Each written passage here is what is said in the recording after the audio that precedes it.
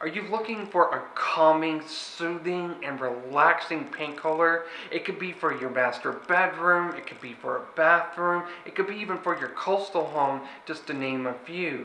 You might want to try out Benjamin Moore Quiet Moments. It could be just the paint color that you're looking for in your home. Today I'm going to share with you the undertones of Benjamin Moore Quiet Moments and then I'm going to compare it with some similar paint colors to help give you a different perspective about this beautiful paint color and then towards the end of this video I'm going to share with you two trims that pair beautifully with Benjamin Moore Quiet Moments assuming you have the right fixed elements to pull it off. The first thing you need to know about quiet moments are the undertones. So watch what happens when I compare it with Benjamin Moore Tissue Pink, which is considered a pink.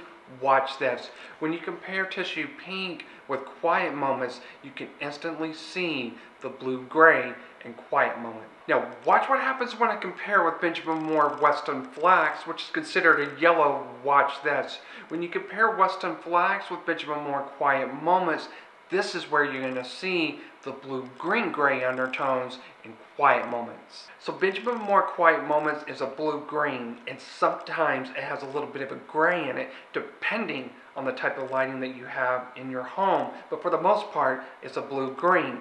Next, I'm going to compare it with some similar paint colors to help give you an idea of where it sits in the world of blue-green paint colors. Now watch what happens when I compare this with Benjamin Moore Beach Glass, which is considered a blue-green. Watch this. When you compare Benjamin Moore Beach Glass with Quiet Moments, you're going to notice instantly how Quiet Moments is lighter than Beach Glass, but you're also going to notice how quiet moments, it pulls more green than beach glass. Now watch what happens when I compare this with Benjamin Moore Palladium Blue, which is also considered a blue-green. Watch this.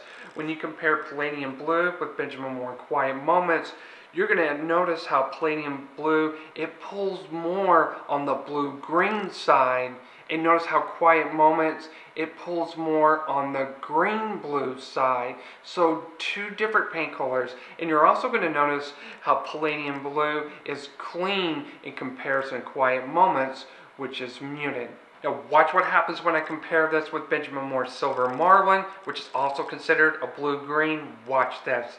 You're going to instantly notice how Silver Marlin is darker than Quiet Moments. And Quiet Moments is just a little bit lighter than Silver Marlin. But to be honest, both of these paint colors are really similar. And one of the biggest key differences is this. Silver Marlin is muted. And notice how Quiet Moments is clean. As you can see, Benjamin Moore Quiet Moments can be dark, it can be light, it can be clean, it can be muted.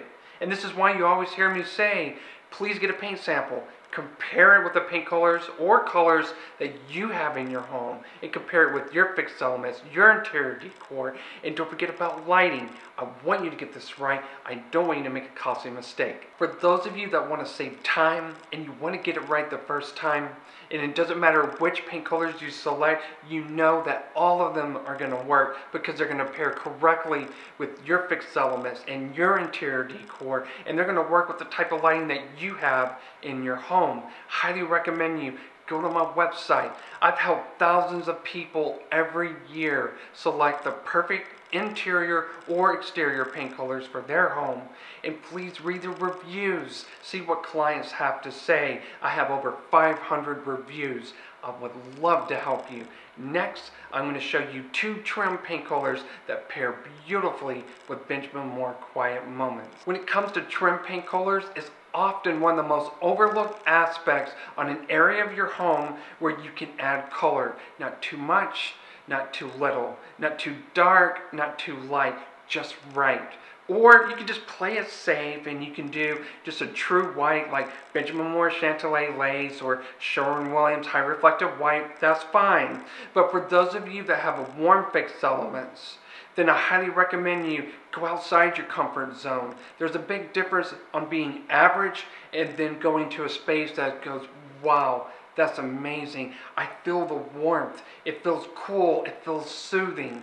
One of these paint colors that I've used many times is called Benjamin Moore Swiss Coffee. It's a grayish. And when you put it on your trims, it's going to look like a light cream that's not overly yellow. It's got just a touch of gray that's muting that yellow and Swiss coffee. Or you could do something a little bit more sophisticated.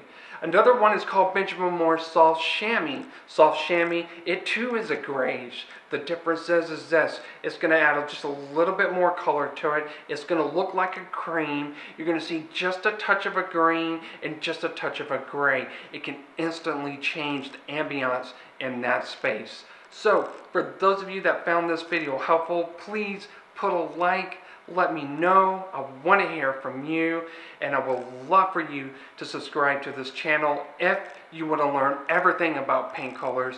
And if you're looking for the perfect paint color for your home and you want to get it right the first time, please feel free. Go to my website. I would love to help you. Until then, I look forward to seeing you in the next video.